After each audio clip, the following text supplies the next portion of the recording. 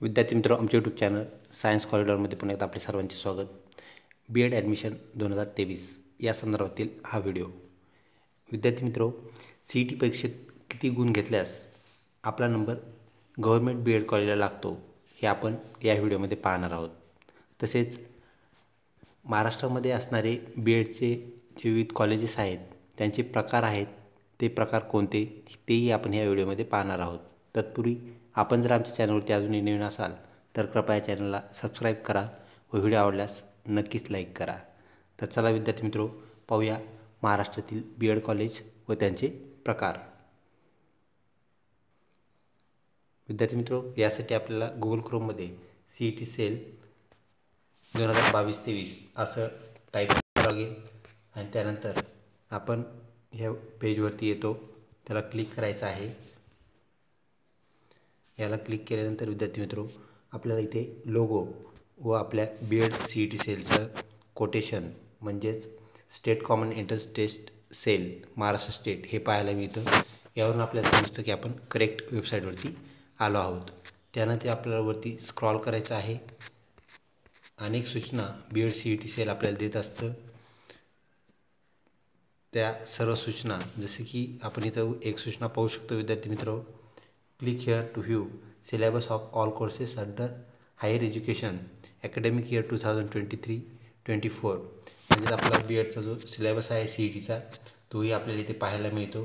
त्यानंतर विद्यार्थी मित्र आपल्याला इथे बी एड न्यू हे दिसतंय. त्याला क्लिक करायचं आहे. त्याला क्लिक न केल्यानंतर एक पेज ओपन होते.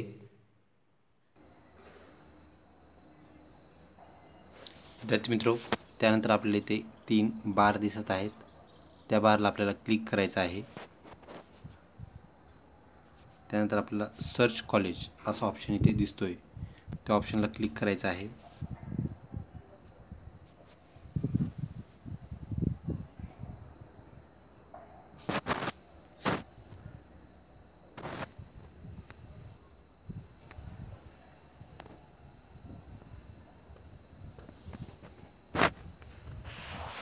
आपल्या इथे सर्च कॉलेज असं दिसतंय. त्यामध्ये मग युनिव्हर्सिटी कॉलेज स्टेटस कॉलेज स्टेटसला आपण क्लिक केल्यानंतर आपल्या इथे काही बाबी दिसत आहेत विद्यार्थी मित्र. तरी कॉलेजचे प्रकार आहेत. त्यामध्ये पहिलं गव्हर्मेंट कॉलेज म्हणजेच गव्हर्मेंट बेड कॉलेज ज्याला आपण शासकीय महाविद्यालय म्हणतो. त्यानंतर गव्हर्मेंट ॲडेड म्हणजेच त्याला आपण शासकीय अनुदानप्राप्त कॉलेज म्हणतो.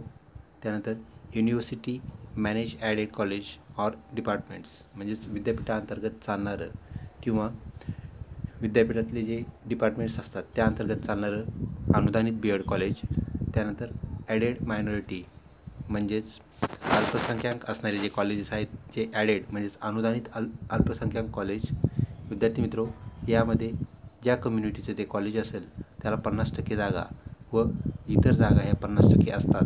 म्हणजे सर्वांना मायनॉरिटी कॉलेजला प्रवेश मिळतो ही बाब आपण लक्षात घ्यावी.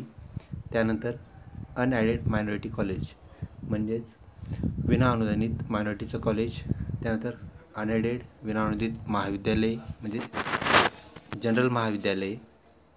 त्यानंतर विद्यार्थी मित्रो university manage unaided college or department तर विद्यापीठाअंतर्गत काही कॉलेजेस असेही असतात.